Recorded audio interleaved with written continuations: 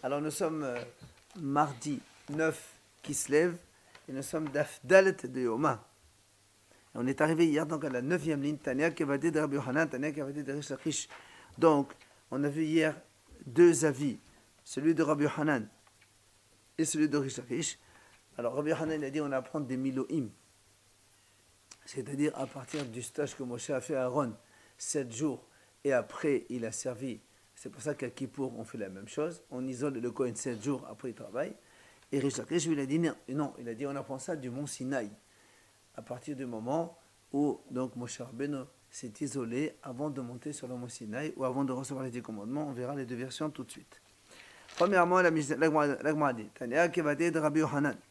Donc on va d'abord apprendre une braïta qui va comme Rabbi Yohanan, comme quoi C'est à partir des Miloïm, c'est à partir donc des Miloïm du stage de Aharon qui a servi pendant sept jours donc avec Moshe Rabbeinu pour apprendre le service et ensuite il a donc été dans le Mishkan pour servir.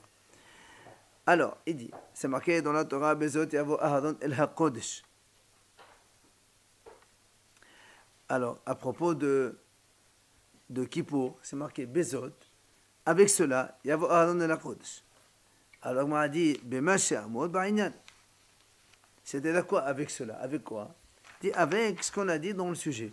C'est-à-dire, Maïhi, c'est quel Et dit, Ba'inyan de Miloïm. C'est-à-dire de la même façon qu'on a vu ce qu'il faut faire dans les Miloïm, il faut faire aussi dans Kippour. Alors, ma amo de Miloïm. Et qu'est-ce qui a marqué là-bas? Il dit Ahadon pirash shiv'a vishemesh yom echad, ou Moshe masal kol shiv'a kedil hannecho. Donc, le, pendant les sept jours de Miloïm, c'est Aaron qui a été isolé pendant sept jours, justement, et il a servi le lendemain un jour.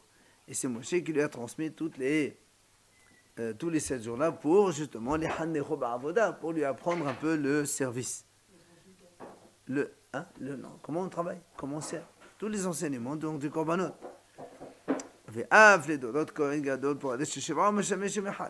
C'est pour ça, de là, on apprend même dans les temps futurs, dans les générations futures, le Kohen Gadol, avant de servir Kippour, il vient pour Eshivra, on isole pendant sept jours, et ensuite il va servir Yom Echad.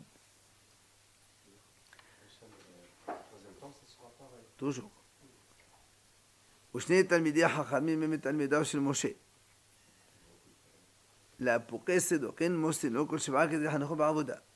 Il dit, en plus, on lui donne deux Talmidei Hachamim, parmi les disciples de Moshe. La Pouké Sédokin, c'est pour exclure les Sédokin, c'est-à-dire, on ne va pas euh, euh, euh, nous, on sait, il y a une grande mahloket. Enfin, c'est pas une mais c'est des Sadducéens qui veulent déformer le service. Nous, on sait que Aaron Cohen, le jour de Kippour, quand il rentre dans le Kol Shakodashim, la première la seule fois où il rentre dans le Kol Shakodashim, le jour de Kippour, il rentre avec la, la, la, la, pelle dans laquelle il y a les braises et le, le, le, le, le dans lequel il y a les, les, appelle ça, les encens et ils rentrent dans le Kodesh comme ça, et dans leur Kodashim, ils, ils mélangent et ça fait la fumée. Les Sadducéens, eux, ils disent non. Il faut qu'ils fassent cela avant d'entrer dans le Kodashim. Et nous, on ne fait pas comme ça. C'est pour ça qu'il dit, on lui donne à ce Kohen Gadol, c'est-à-dire Metalmedav Shel Moshe. Ça veut dire on va lui donner des vrais disciples de Torah qui ont appris la Torah de Moshe Rabbeinu, mais pas des Sadducéens. C'est pour ça qu'il dit, Qu'est-ce qu'on fait? Donc là aussi, à Kippour, on fait la même chose. À chaque Kippour, on isole le Kohen Gadol et on lui laisse donc deux Talmud Haramim qui vont lui enseigner tout le service qu'il va faire pendant le jour de Kippour. Non, ça c'est ça c'est pour la vache. Oui, ça c'est une autre, situation dans laquelle les sadiciens ne sont pas d'accord avec le ministère. Mais kan amru, de là on a appris. Donc les sept jours avant Kippour. On isole le Kohen Gadol de sa maison pour l'amener donc dans l'Elishkat Patedrin. Shem, Kohen Gadol מפדישים כהן אסף את הפרה ללשכה שעל פני הפרה צפונה מזרחה. Et de la même façon qu'on a isolé le Kohen Gadol pour Kippour, on isole aussi le Kohen qui va brûler la vache rousse comme on a dit donc dans la Lishka qui se trouve nord-est donc du Betamikdash.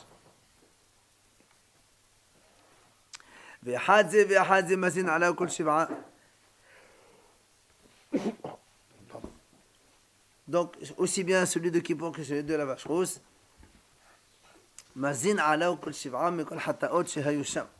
on va lui asperger pendant les 7 jours. Donc chaque jour, on lui fait une aspersion. On verra là aussi, Donc de toutes les vaches rousses qu'il y avait là-bas dans le Betamidash. C'est-à-dire que, Ramim dit que quand on a fait la première vache rousse, on a laissé toujours un petit bout. Quand on a fait la deuxième, il reste, encore donc un petit, à de chaque vache rousse, il reste encore un petit peu d'eau et de cendre. Et donc c'est pour ça on dit, on va lui faire des aspersions de toutes les vaches qu'il y avait avant lui.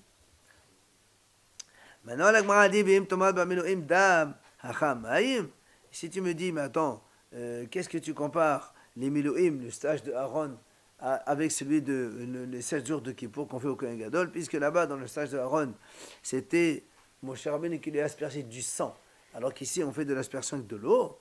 Et ça, c'est pas un problème, comme on avait dit hier. Amrat, Et c'est pas grave, ben, l'eau remplace le sang. Le tout, c'est de faire des aspersions, ce qui ne compte, donc c'est pas grave. Et enfin, avec Omer, la dit voilà une autre preuve.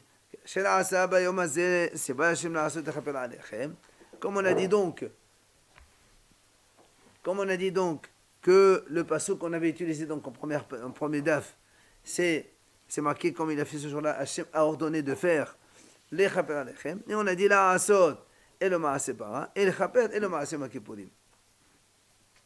Donc de là, on a appris que, aussi bien pour la vache rousse que pour le, le, le, le service de Kippour, on isole le Kohen pendant 7 jours. Le Kohen pour la para, c'est un Kohen Normalement, on dit que tout le monde peut le faire, mais en général, on réservait cela au Kohen Gadol, c'est évident. Alors, donc tout cela, finalement, tout cela, on l'a appris, comme il a dit, donc on a dit, la Breta, elle dit, comme Rabbi Hanan, Bezot Kodesh, avec cela. Quoi avec cela? Avec tout le même processus qu'on fait dans Shivat et Elohim, on fait la même chose. Donc pour la vache rousse et pour Kippour. C'est là où l'Agmara pose une question. Bezot mevael le gofé. Befa lehatat ve'el le ola. L'Agmara pose une question. Dit comment tu dis que le mot bezot, ça veut dire avec le même processus de Miloïm? Voilà, c'est marqué. Hachamim disent non. Bezot, ça veut dire pour te dire avec quel korban le Kohen il va venir travailler le jour du Kippour, avec le même korbanot, c'est-à-dire Kohen marqué là-bas, c'est-à-dire dans le passage c'est marqué comme ça. C'est marqué clairement là-bas dans la Torah. Le Kohen Gadol, le jour de Kippour, il apporte c'est marqué clairement. C'est pour te dire voilà comment Aaron à Kohen il doit faire service le jour de Kippour. Et tous les Kohanim Guidonim aussi doivent faire le service le jour de Kippour avec cela. C'est-à-dire quoi cela? Un bœuf et un bélier pour la Alors comment toi tu, veux déduire de là le mot bezot, c'est-à-dire avec cela, avec le même processus qu'il y a eu pendant les 7 jours de Milouim, alors que c'est marqué clairement dans le passage pour autre chose. Là où l'agma lui répond Amre, et les korban les hodé, les makra bazé, obé Maï bezot shamat minatate. L'agma dit non. Si vraiment on veut dire que c'est avec le même korban que le mot bezot ça désigne, alors dans ces cas-là, on ne dit pas bezot. Pourquoi? Parce que si c'est le korban, c'est masculin, on dit bezeh korban. Si c'est les deux korbanot, le bœuf et le haïl, on aurait dit be'elle. Alors c'est comme bezot. Comme bezot, on a employé le mot le féminin c'est-à-dire Le même statut qu'on a dit ailleurs, tu le mets ici. Et donc on apprend de là, c'est le statut de Melouim, on met dans le, jour de Kippour. C'est pour ça donc le mot Be'ezot.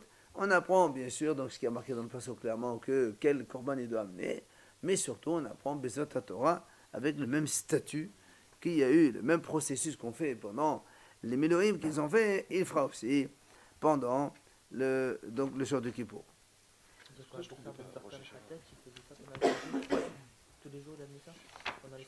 Non, de la même façon que pendant les minutes, il a fait pas ben là. il fait la même chose à Kippour. Alors, l'Agma a dit, Maïve Omer. Alors, l'Agma dit, dans ces cas-là, donc la preuve elle est bonne, pourquoi tu as besoin aussi de quand on a dit Ve Omer, l'Agma a apporté une deuxième preuve. Il y a le passou qui dit Pourquoi tu as besoin d'une autre preuve y on a appris. Avec ce même processus, tu feras avec Aaron pour. Pourquoi on a besoin d'une autre preuve Il dit non. Si tu dis Ashkehan Bameloim, Avalimem Kadal Malach. On dit parce que non. Si on n'avait pas un deuxième passage, on aurait dit comme ça. On a dit très bien. Avec le même processus qu'on a fait dans les Miloïm, on fera pour donc, Aaron Kohen Gadol. Mais uniquement une fois. Comme dans les Miloïm, on a fait 7 jours de séparation. Après, Aaron, il a servi en permanence tout le temps. Là aussi, c'est pareil. On aurait dit, monsieur, le, le premier Yom Kippourim de ce Kohen Gadol, il fait 7 jours de séparation. Après, il travaille. Mais le, le Kippour de l'année prochaine, c'est pas la peine le Kippur d'après, c'est pas la même, et ainsi de suite. On change de Cohen chaque année? Non. Ben puisque lui, il a été intronisé une fois et après, il n'a plus jamais refait. Pourquoi vous parlez d'une année supplémentaire Parce que toi, nous, on a demandé la question pour quand tu apportes une deuxième preuve. on m'a dit, voilà, j'ai une deuxième preuve. Parce que si on ne garde pas la deuxième, on garde que la première. Qu'est-ce qui a marqué dans la première? Avec le même processus qu'on a fait à Aaron dans le stage, tu feras au Cohen Gadol qui va servir à Kippour. Alors moi, je vais dire, très bien. Aaron, il a fait un seul stage il a servi toute sa vie. On dira la même chose. Ce Kohen Gadol là, qui va être par exemple pendant 10 ans Kohen Gadol, on lui fera une séparation de 7 jours, le premier qui porte de son service, et après pendant 10 ans, il ne fait pas. L'année prochaine, c'est pour ça que je. L'année, les 10 années d'après. Ah, les 10 années. Je, toute l'année d'après. C'est chaque année qu'on faisait un. Eh ben justement, c'est, pour ça que le Passouk, il vient t'apprendre. Le Passouk deuxième, euh, euh, c'est pas il va t'apprendre qu'à chaque Kippour, il faut refaire le même processus. Chaque Kippour, même si c'est le même coin de l'année dernière, on fera la même chose. On isole pendant 7 jours et il travaille pendant un jour. Le Kippour. Enami, enami, Kohen Gadol Kamahu Diva Pesava Kohen Gadol Be'al Malla, Tashmak Ashrasa Bechole. Ou encore on aurait pu dire aussi la même, une autre possibilité. On aurait dit très bien, le premier Kohen Gadol, c'est-à-dire Aaron à Kohen, qui a servi en tant que Kohen Gadol dans le Don Kippour, celui-là, on lui fait donc une. Euh, euh, enfin, on isole pendant 7 jours, et donc après il sert Don Kippour. Après, tous les autres Kohanim qui viennent derrière lui, on n'a pas besoin. Parce que tu me dis, Bezot Yavo Aaron. Très bien, moi j'ai très bien. Avec cela, Aaron il vient. Aaron, le premier Gadol, il fait ça. Les autres Kohanim n'ont pas besoin de cela. Et c'est pour ça qu'on a eu le besoin du Passour. Parce que a été dit non. Comme on a fait à ceux qui pour là, ben tu feras à tous les autres qui pour de donc des années suivantes et des Kohanim après. Donc voilà, donc ça c'est la vie de la Breta qui est comme Rabbi Hanan, comme quoi on apprend que le Kohen Gadol doit s'isoler sept jours avant de travailler, de servir pendant Kippour. on apprend ça des Milouim, du stage de Aaron à Kohen. Maintenant, Tania qui battait de Rish Lakish. Maintenant, on va voir l'autre Brita qui va nous enseigner selon la vie de Rish Lakish. Comme quoi, que comment on apprend que le, le Kohen Gadol doit s'isoler sept jours avant de servir à, à Kippour. On apprend ça de Sinaï, du mont Sinaï et la Breta nous, nous explique cela. تناقب هذه درجة قيس موسى على بعنان بنت كسا بعنان بنت قداش بعنان qui dès la Kabbalah Torah d'Israël Birkdusha. La Bretagne dit comme ça, c'est marqué que Moshe Rabbeinu, il est monté dans un nuage. Il a été couvert dans un nuage. Il a été sanctifié dans le nuage pour aller recevoir la Torah d'Israël Birkdusha avec sainteté c'est le passage qui le dit, Et le, la providence d'Hachem, la Shrina, elle a résidé sur le mont Sinaï. Et là, on a évidemment une mahloquette entre Rabbi Yosef Galilée et Rabbi Akiva. Il pas resté 40 jours, mon cher Attends.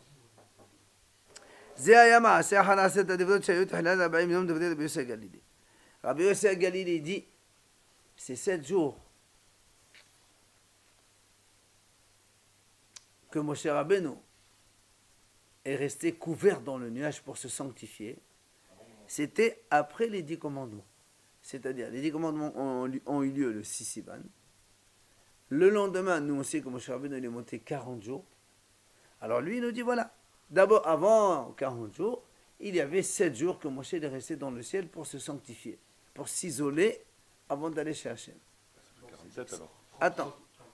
Non, 47, pas dans le monde. Pour l'instant, pour l'instant, la Gemara, elle va discuter après comment, donc ça va être 40 ou 47 ou les 7 inclus dans 40. Pour l'instant, on retient une idée. Lui, il dit que les 7 jours que Moshe Rabbeinu s'est isolé, ce sont après les 10 commandements. Il n'y a pas de première fois. Quelle première fois Il y a pas. Bah oui, avant de recevoir les dix dix commandements. Moshe n'est pas monté au ciel. Fois la première Non, non, ça c'est après. Il est monté 40 jours, 40 jours, 40 jours, c'est après euh, les 10 commandements. Avant les 10 commandements, Moshe parlait avec Hachem, mais il n'est pas monté 40 jours. Parce D'accord qu'ils ont dit qu'au bout de 40 jours, ils l'ont pas vu, c'est là qu'ils ont commencé à faire le vaudeur, c'est ce qu'on dit. Très bien. Donc il est monté 40 jours. Très bien, c'est ce que je te dis. C'est pas Moussé qui l'a vu avec les dix commandements Non, les 10 commandements, c'est Hachem qui est descendu sur le mont Sinaï, il a proclamé les 10 commandements. D'accord Alors, ça, c'est l'avis de Rabbi Yosef Galilée qui dit que Moshe Rabbeinu est monté après les 10 commandements. Rabbi Akiva Omer. Attends, attends, on va voir ça. Rabbi Akiva Omer, il dit non.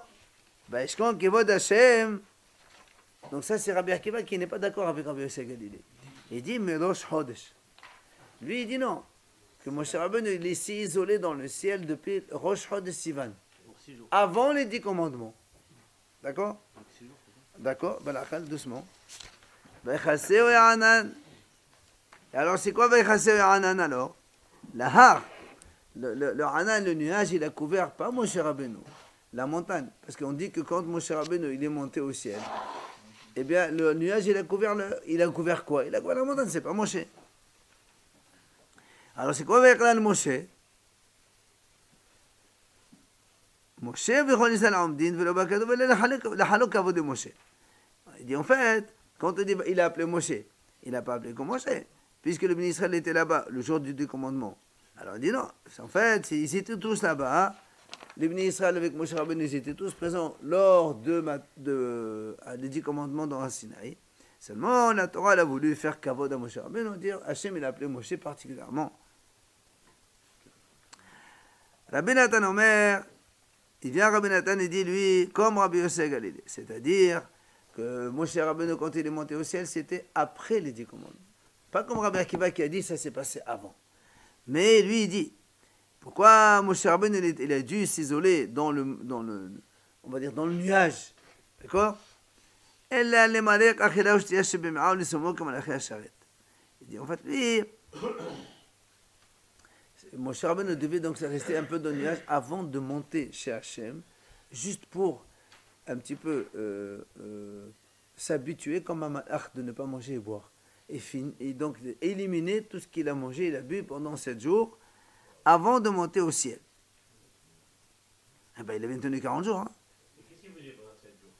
Ben, il, il étudiait la Torah avec Hachem. Ah, il étudiait comme un cachet. Ah ben, euh, au début, non, selon cet avis-là, hein, puisqu'il est pas monté, il était, il était ses jours dans le nuage, il étudiait tout seul, il n'a pas besoin.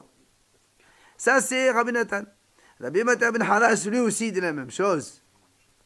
Rabbi Mata ben Harash, Omer, lui, il dit Non, l'oba, katouve l'alayam, alors que des Torah n'étaient bema, bedet et tufzia. Pourquoi on a dit, pourquoi Moshe Rabbeinu s'est isolé avant le, le euh, avant de monter au ciel. Là aussi, il pense que Rabbi Yosef Galilée, comme quoi c'était après les dix commandements. Et alors pourquoi Hachem il a laissé six jours dans le ciel de nuages avant de monter? C'est pour un peu exercer sur lui une certaine menace pour qu'il comprenne que la Torah, c'est pas un jeu. Et quand on étudie la Torah, quand on va recevoir la Torah, il faut être avec la crainte, avec toute la... D'accord? Il faut trembler, et ainsi de suite. Comme dit le Pasuk, Servez Hashem dans la crainte et réjouissez-vous dans le tremblement. Ça veut dire quoi Comment tu peux te réjouir et trembler en même temps?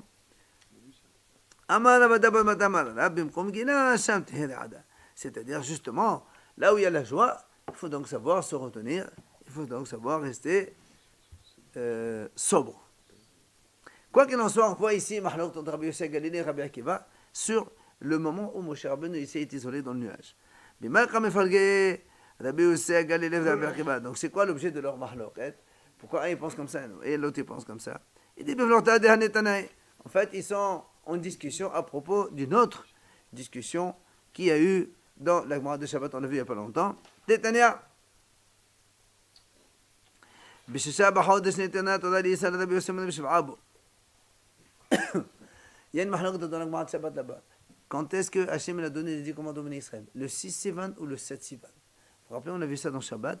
Selon Rabbi Yosef, c'était le 7 Sivan. Selon Hachamim, c'est le 6 Sivan.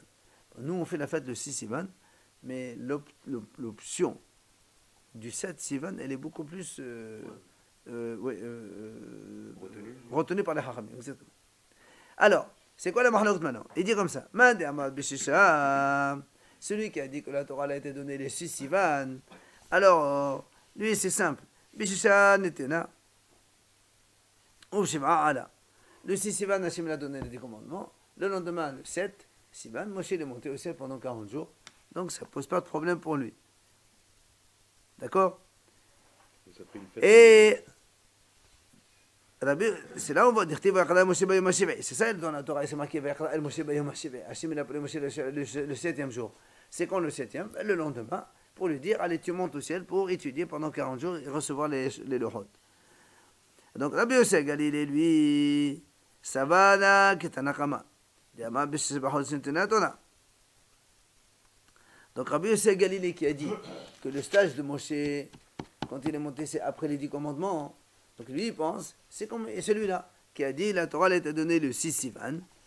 D'accord? Le 6 Sivan, il donc les, dix commandements ont été donnés. Le 7, Moshe est monté au ciel. Alors là-bas, il est resté 7 jours donc, dans, le, dans le nuage avant d'aller, de monter chez Hachem. Et le Pardon? Non, non, il y a la BEC, il y a la BEC à Galilée. La BEC à Galilée, chez nous, c'est celui qui a dit que Moshe Rabbeinu s'est isolé après les 10 commandements. Alors que Rabbi Akiva, il a dit avant. Donc lui, il compte 40 plus les 7 jours. Lui, il compte, lui, il compte 7 jours après les 10 commandements. Donc, 7 non, jours Non, il, il pas, on n'a pas dit ça pour l'instant. On n'a pas dit ça encore. Pas de 6 ou 7 Non, il a dit 7 jours après les 10 commandements. Comme les 10 commandements ont eu lieu le 6, donc le lendemain, le, lendemain, le 7, il a pris 7 jours. Et là, ensuite, on a vu il est redescendu après 40 jours avec l'étape de la On verra cette histoire de 7 plus 40 ou pas. Alors, il explique le passage comme ça. Lui,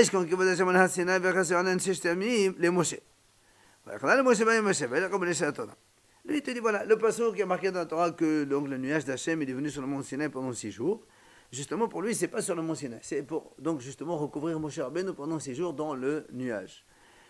Et après, le septième jour, Hachem il a appelé Moshe, il dit maintenant tu peux monter, et donc pour recevoir l'étape de la loi.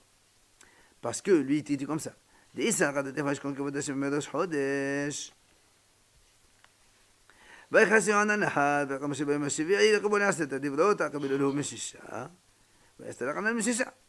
Donc lui, il te dit, parce que si on dit que le passo qui parle avant, comme il a dit Rabbi Akiva, que le passo qui dit que non, Moshe Rabbeinu il était couvert dans le nuage avant les dix commandements. Oui ou non Alors lui, il dit comme ça, comment ça se fait Si on dit comme ça, comment tu dis Comment le passage qui dit Dans le passage, c'est marqué comme ça. Hachim, il a appelé Moshe le septième jour. Pourquoi faire? Parce que si Moshe s'est isolé pendant, avant les dix commandements, donc, pour, si on l'a isolé, c'est pour recevoir les dix commandements. Or, si on dit que les dix commandements ont été donnés le 6, Moshe, il ne peut pas être rappelé par Hachem le septième jour, ça n'a aucun sens. Donc c'est pour ça que lui, il opte pour le premier choix.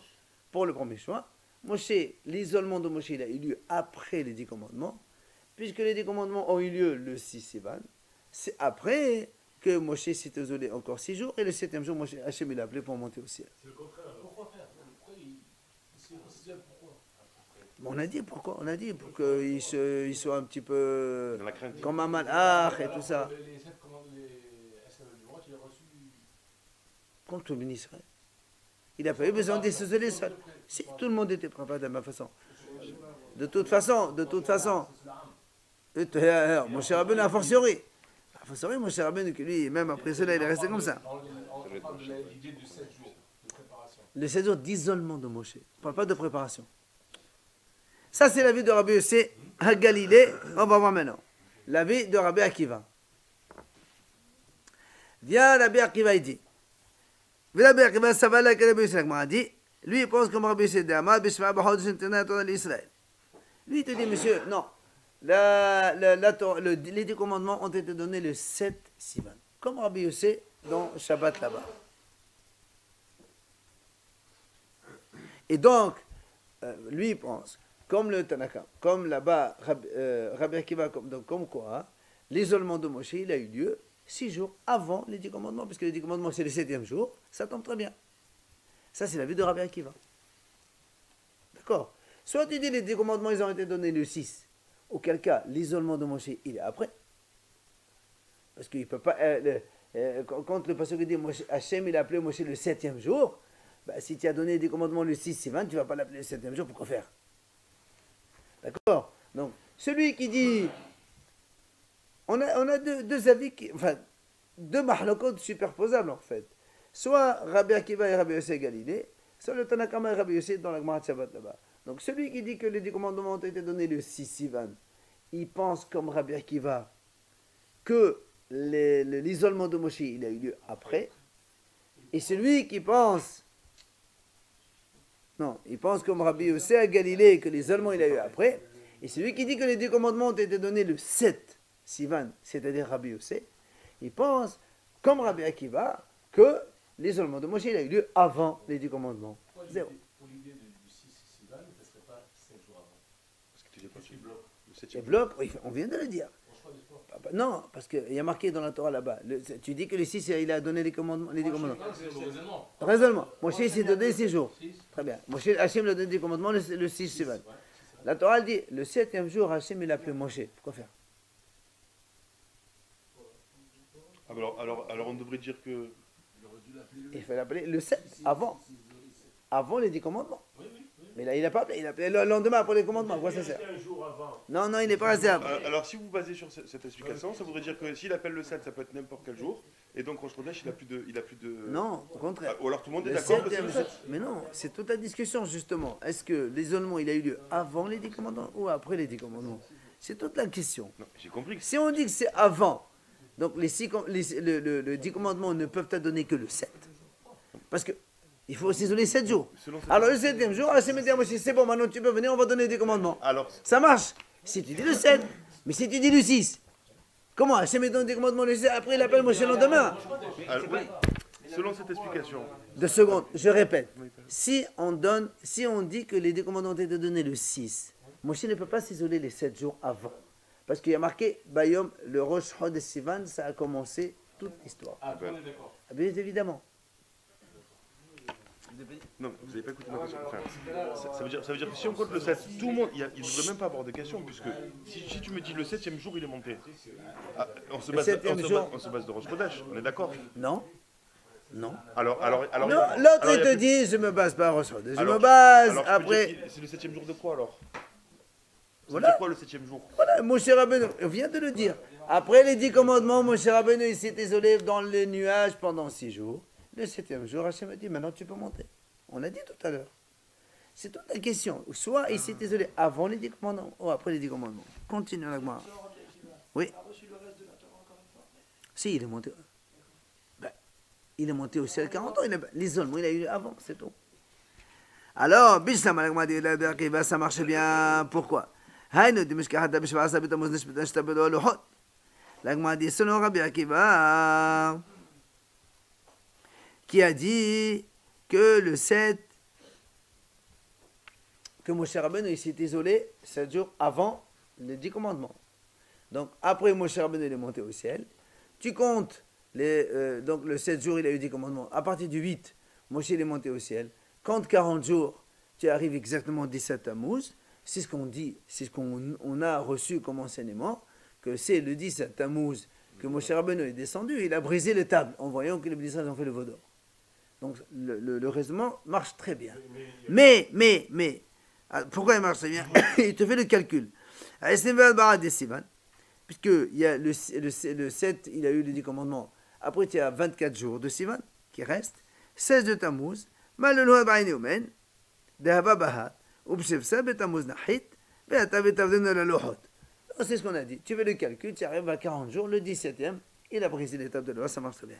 Mais, hein? Le, le, Le 8. le 8, du 8 au, au 30, au, 8, 8 au 30, ça fait euh, 7, hein? au 23, 23 23 et 16. et 16. Comme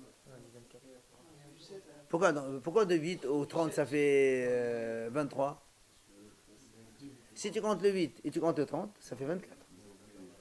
8, 9, 10. moins 7, on va dire. Ah non, non, mais c'est 7, 30 moins 7. Mais là, on ne fait pas 30 moins 7. Il y a le 8, ça compte. Et le 30, ça compte. C'est pas d'après tout le monde. Hein. Faut compter le 7. 23, 24, Faut compter le 7. 27, 28, 29, 28. Ouais, ça fait combien? Ça fait 20, euh, 24. 24. eh non, 15 et 8, 23. Non, non, non. Alors, Septième jour. non, non, non, attendez. 8, 9, 10, 11, 12, 13, 14, 15, 16, 17, 18, 19, 20, 21, 22, 23, 24, 25, 26, 27, 28, 29, 30. Ça fait. Oh, tu as raison, ça fait 23. Faut compter le 7. Et non, Mahila, tu as raison. Parce que quand on compte du 8 au 30, même si on compte 23, après, quand on a compté après du, euh, euh, du 1er au 16, ça fait 16. Mais lui, il est descendu le 17.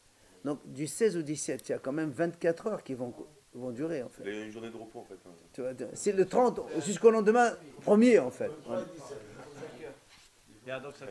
Ça fait 40 jours. Ça code aussi Hein? Ça code aussi dans les deux comptes? Non, attends, attends, attends. Maintenant, elle là, écoutez bien. Elle là, les Rabbi Yossé Galilée. Mais Rabbi Yossé Galilée, qu'est-ce qu'il a dit lui? Il a dit l'isolement de Moshe, il a eu lieu après les dix commandements. C'est Rabbi Yossé Galilée. Il a dit comme ça, après les dix commandements. Moshe Rabbeinu, il est resté six jours dans le ciel, dans les nuages. Et après, il est monté au septième jour. C'est ce qu'on a dit, selon Rabbi Lohot. Alors, si tu comptes 7 jours, plus 40 jours, ça fait 47. On ne tombe pas, on n'arrive pas au 17 Tammuz. Bah oui. Bah oui. Puisque nous, on a compté, comment on a compté 17 Tammuz On a compté du lendemain du, du, du 7, 40, ça arrive. Mais si tu fais euh, le 7 Sivan, le 6 Sivan, ils ont eu la Torah. Le lendemain, 6 jours, Moshe est monté, il est resté dans le nuage couvert. Et après, 40 jours encore, on n'arrivera pas au 17. On est largement après. On est 6 jours après, en fait. 17 ici, ça fait 23 jours. Le, le 7. Le- le Rab- non, ça c'est Rabbi Yossé. Le 7, oui. Non, ça c'est Rabbi Yossé. Mais nous, Rabbi Yossé à Galilée, il dit comme le Tanakama, comme quoi le 10 commandements, ils ont eu les 6. Et Moshe, ah oui bien sûr, et, et après Moshe est monté le lendemain, il est resté isolé six jours après les dix commandements. Ah ben s'il est resté dans le nuage, plus rajoute 40 jours dans le ciel, ben on tombe derrière les 17 amours, c'est ce qu'il dit. Ça fait... Euh, euh, euh 23 tamouz, eh ben, il n'y a pas encore les, les, les tables brisées. Qu'est-ce que c'est ça? Hein? Ah, Alors lui, il te dit, écoute, ce serait simple. C'est pour ça, tout à l'heure, on posait la question, est-ce que 40 plus 7 Non, il te dit, non, monsieur. Les 6 jours que Moshe était isolé dans le nuage sont inclus dans les 40. Voilà, après, c'est donc le, le, on, on, on arrive... Que le 6 ou le avant ou après Non. Ah, après, c'est plus le problème. Celui qui dit le 7, donc il est monté de, donc le 8 et le 17. Et euh, lui, il te compte le jour de monter ou pas de monter. En fait, c'est comme ça qu'on on compte le jour où il est monté. Parce que celui qui dit le 6, il a reçu. Le 7, il est monté. Après, ou celui qui dit le 7, ça marche aussi dans les deux cas. Soit, tu- messieurs, messieurs, Maman, on dit qu'ils sont englobés, c'est plus, c'est avant ici, justement, si tu dis que c'est englobé, c'est que c'est bien après les 10 commandements. Pour faire que les, six, les 7 Donc, jours. c'est après. Les 10 commandements, c'est selon cet avis-là. Amad Mor. Alors, la première où ils disent que euh, euh, c'est isolé avant, ils ne tiennent pas la route. Si, elle tient la route. Chacun, il tient sa route avec son argument. Amad est- donc on a dit tout à l'heure. C'est marqué dans la Torah, Vayakla el Moshe. Oui. Quand on a dit tout à l'heure, Moshe, selon le Hacham qui a dit que le Moshe Rabbeinu, il était isolé pendant, après, donc, selon le Hacham qui a dit, ça c'est Rabbi Akiva, qui a dit que Moshe était isolé avant les dix commandements. C'est quoi avec Moshe? Moshe veut connaître ça Tout le béni Israël et Moshe étaient debout. Et Hachem voulait juste faire kavod à Moshe.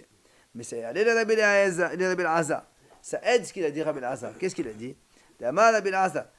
Moshe, ce qu'on a dit nous. Moshe veut connaître ça Tous ils étaient donc, puisque, en fait, pendant les dix commandements, tous les Israël, ils étaient devant. Alors, comment la Torah dit Moshe? Hachem, il n'a pas appelé comme Moshe. Moshe, tous les Israël, il les a appelés. Alors, pourquoi on a marqué ce passage al Moshe? Il a dit, Moshe. Pour faire kavod, Moshe Rabbeinu, toi, tu es spécial, on t'appelle personnellement. Alors, on m'a posé une question. Mais il dit, voilà, on a vu. Kol lo, kol elav, Moshe shama, vechol stanu shamon. Il dit, c'est marqué dans le pasuk quand il y a marqué euh, Vaishma Takol Medaber Elav.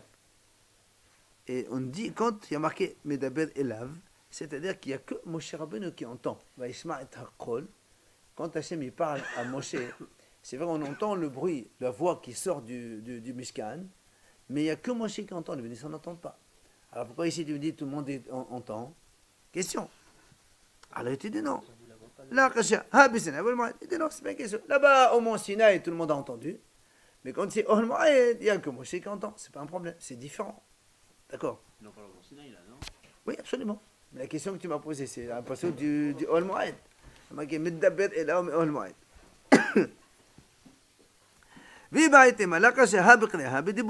Ou bien je peux te répondre donc, c'est différent.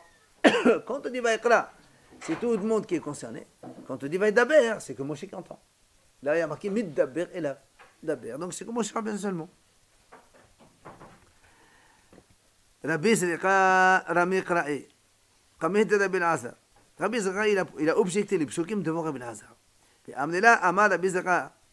Il y en a qui disent, c'est pas, c'est Rabbi Zrika qui a dit, Rabbi Lazar Rami. C'est Rabbi Lazar lui-même qui a objecté. Comment? Kitif, c'est marqué dans la Torah, Velo Yachol Moshe El Moed Kishana. D'un côté, on nous dit, Moshe parce que le jour où il y a eu la Shekhinah dans, dans, le dans le Mishkan, la première fois où la providence divine donc, a résidé, c'est marqué, Il y avait tellement de nuages, c'est marqué, Moshe ne pouvait pas rentrer dedans, dans le Mishkan. Et après, il dit comment? Et d'un côté, nous, on a vu, il y a marqué Moshe il est venu à l'intérieur du nuage, il est resté là-bas six jours. Alors comment? Moshe Rabbeinu, il peut pas ou il peut rentrer? C'est quoi ça? On a dit non.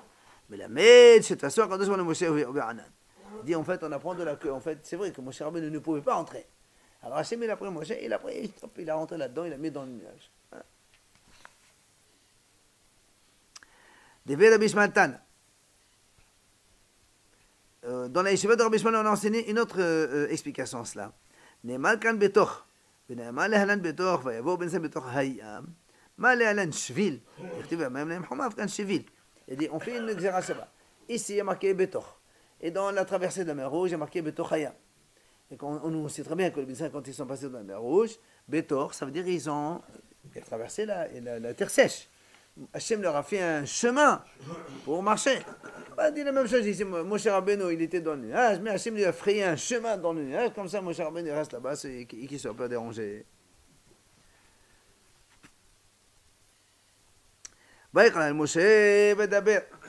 Ça, c'est le premier passage de Hamash ויקרא Moshe ודבר d'Hachem אליו מאוהל מועד למועד. C'est marqué. Il a appelé Moshe, il lui a parlé. Alors la a dit, למה יקדים קריאה לדיבור pourquoi il y a marqué Vayakra Vedaber On aurait pu commencer directement. Vedaber, c'est le Moshe, comme d'habitude. Il aime la Torah de Cheres.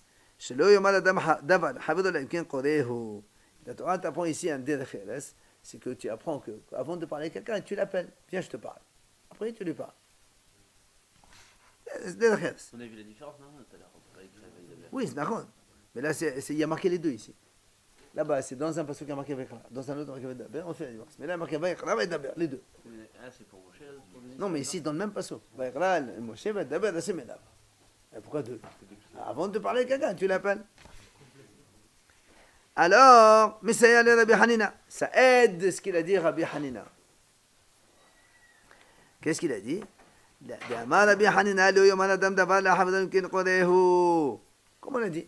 Rabbi il a dit ça. Il a dit donc un homme ne parle avec quelqu'un que s'il l'appelle auparavant. Alors la a dit et les morts, ça veut dire quoi les morts? Parce qu'il a marqué Vayakra el Moshe, il a appelé Moshe. Elav, et Hashem lui a parlé. Mais oh le moed, les morts, c'est pas les morts ça, les morts? Encore un, autre mot en plus. De là on apprend. מניין לעומד דבר לחבר שהוא בבליומן עד שאומר לו לך אמור, שנאמר, ותדבר השם אליהו מאוד מאוד לאמור. Il a dit, Rabat, il a dit, en fait, le, le mot les morts, ça veut dire aussi lo amar. Lo amar, ça veut dire ne dis pas. Il dit, on apprend de là que quand quelqu'un il dit à l'autre une parole, il n'a pas le droit de rapporter cette parole que si on lui dit, monsieur, tu peux rapporter cette parole. Les morts, c'est ce qu'il a dit. Tout ce qu'on dit à quelqu'un, baliomar. Parce que le mot les morts, c'est lo amar. Ne dis pas. Je te dis quelque chose, ne dis pas. Sauf si-. Justement. Jusqu'à ce qu'il lui dit, va, tu peux le dire. C'est deux, deux traductions complètement opposées. Soit on dit en, soit on dit en disant, soit on. en- non. Regarde, n'oublie pas, quand, quand on dit une- un seul mot, ça signifie ce que ça signifie. Mais quand tu mets un mot en plus, tu l'as appelé. Tu lui as parlé. Ça y est, c'est-à-dire les morts. Les morts quoi Après, c'est Bénisraël, non Non, non, les morts c'est c'est- Après, il dit, tu vas acheter, tu vas apporter korbanot. Si un juif, il veut apporter un korban, etc. Il parle à Moshe Hachem. Alors, il dit non, le mot les morts qui est en plus, ça veut dire lo amar. C'est-à-dire que quand, c'est un principe. Quand on dit quelque chose, une information à quelqu'un, par définition, il n'a pas le droit de la dévoiler, sauf si on te dit, sauf si on te dit de dire lo amar, ah, si on va le, dans la Torah, c'est pour ça, non Non. Quand il y a marqué deux fois, en général, Alors, alors, alors, alors, écoute. Tout cela Dans, en, règle générale, en règle générale, on explique le mot les morts, c'est pour dire aux autres. Les morts, la ahirim. Va d'abord Hachem et Moshe, les morts, va dire au Béni Israël. Mais là, va écrire El Moshe. Non, non. De, de nouveau, quand il y a des mots en plus, on essaie d'expliquer pourquoi. Qu'est-ce que quel sens ça a en plus. Quand il n'y a pas de mots en plus, alors on retient la, la, la vie générale, l'explication générale. Hachem et Moshe, bon, Il y a un mot en plus. Non. Les morts. C'est ça, les morts, la ahirim. Va d'abord Hachem Moshe, Hachem il a parlé à Moshe, les morts, va dire au Israël. Ici, il y a marqué, va écrire El Moshe, il appelle Moshe. Non, mais c'est-à-dire il appelle. Il appelle. euh, Après, il dit, bah, Va d'abord Hachem il est là. Ça y est, tu as parlé. Les morts sont Ada. Parce qu'en plus, il va parler, et en général, quand il est mort, il dit El Béni Israël. Va dire au Israël. Mais là, il ne dit pas d'abord Béni Israël. Enfin, la Gemara, elle conclut. Tabas. Kol hakado bahem hakebahem. Alors, il dit comme ça. Maintenant, finalement, tous les deux pensent, c'est-à-dire, euh, maintenant, on vient de voir, quand nous on a dit que Rabbi Hanan, il a pris de Milouim. Rish Lakish, il a pris de Sinaï. On a dit, Mekelad, c'est-à-dire même.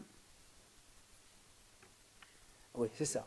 C'est-à-dire, quand, quand- on n'oublie pas, dans la page précédente, on a vu hier, c'est marqué comme ça. Quand il a dit, euh, Rish Lakish, il a dit Rabbi Hanan, il a dit, d'après toi, puisque tu apprends de Milouim, donc tout ce qu'il y a dans les Milouim, on va l'appliquer à Kippour. C'est-à-dire, même les points qui sont spécifiques à Milouim, tu les appliques à Kippour. Rabbi Hanan lui dit oui, pour- pourquoi pas. Maintenant, la Gemara va nous expliquer qu'est-ce qu'il y avait dans les Milouim en plus qu'on devait aussi appliquer à Kippour. Parce que dans les Milouim, il y a une première idée qu'on a vue jusqu'à présent, c'est isoler le Kohen Gadol 7 jours avant d'aller en service. C'est pas compliqué, c'est de là on apprend. Alors, donc la Gemara dit, donc, si Rabbi Hanan il n'a pas dit non, ça veut dire aussi bien Rishagish que Rabbi Hanan pense que tout ce qu'il y a dans le Milouim, il est applicable à Kippour aussi. Et c'est là que la Gemara va trouver maintenant des, des- des points, les points quand même. C'est quoi? Dites-moi. A lui. Bah, si. Alors avec Hachem. Non, pas, non, Milouim, c'est pas Moshe, c'est Aaron. Le, le Moshe, c'est la vie de Reish Lakish qui dit de Sinaï. Oui, non, mais si on fait la juxtaposition deux. Non, non. Ça, c'est l'avis de Rislakish qui dit qu'on n'apprend pas des Melohim, on apprend de Mont Sinaï. Rabbi Hanan, il dit on apprend des Melohim. Les Melohim, c'était avant. Alors, dites-moi, Melohim, Rabbi Hanan, Rabbi Hanan, Hadaman, Kolakadobem, Hakebem, Hadaman, Odebem, Hakelodot, Hakebem, Shem, Hakelodot, Hakebem. Il dit comme ça. Il dit euh, Melohim, le, donc le, le, le, le stage de Aaron qu'il a fait avec Moshe pendant 7 jours. Il y a Rabbi Hanan et Rabbi Hanina deux avis différents. Un, il dit. Tout ce qui est marqué dans les Milouim, c'est me'akev, la même chose à Kippour. Et un, il dit non. D'abord, me'akev les dorot, me'akev behen. Ce qui est me'akev les dorot, c'est-à-dire dans les générations futures, c'est me'akev. Ce qui n'est pas me'akev le dorot, et non me'akev. Ça veut dire quoi? Ça veut dire ce qui, ne- ce qui n'est pas. On va apporter ici des, des, des points différentiels. Par exemple, on va parler de la smicha, on va parler euh, euh, de la tnoufa, on va parler points, de points qu'il y a eu pendant Milouim. Et on verra est-ce que c'est superposable aussi à Kippour ou pas. Et on va voir le mahlok maintenant. Ça empêche. Ça veut dire si, si on ne le fait pas, ça invalide la chose. Et donc Rabbi Yohanan, donc un il dit ma'akem, un il dit pas ma'akem. La Gemara dit tistayem. Rabbi Yohanan kol hakadu ben bahen. Il